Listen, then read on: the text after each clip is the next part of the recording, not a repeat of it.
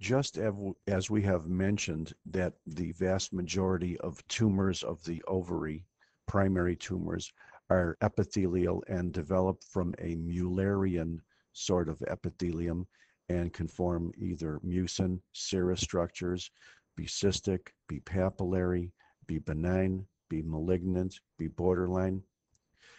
The second most common overall classification of ovarian tumors are what we call germ cell tumors or tumors of the actual ova themselves.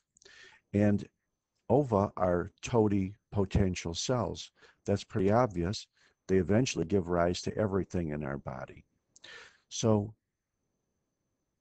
germ cell tumors are generally more interesting because they have a larger, wide variety of things to make other than just glands, which uh, Mullerian tumors generate.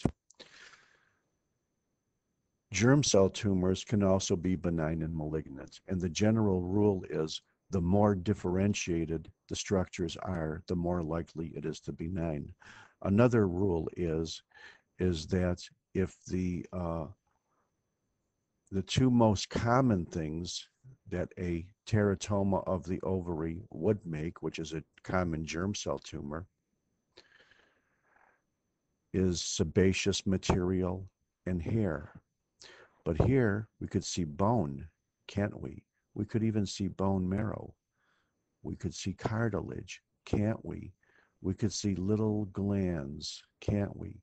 We could see some type of muscle, perhaps smooth muscle, can't we? Let's go a little bit closer. I doubt if this is striated muscle. No, I'm sorry, it looks like it's bone. Uh, this is a typical uh, teratoma, benign teratoma. When it has a cystic configuration and, and creates a lot of uh, microscopic structures like sebaceous material, they're frequently called dermoid cysts. And uh, dermoid cysts are the most common type of ovarian tumor in a young woman.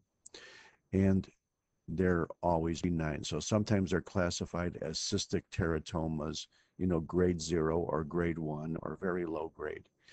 And once again, because this tissue is uh, of various types of tissue, we see epithelial, uh, sometimes you can see neural elements, we can see connective tissue, bone cartilage.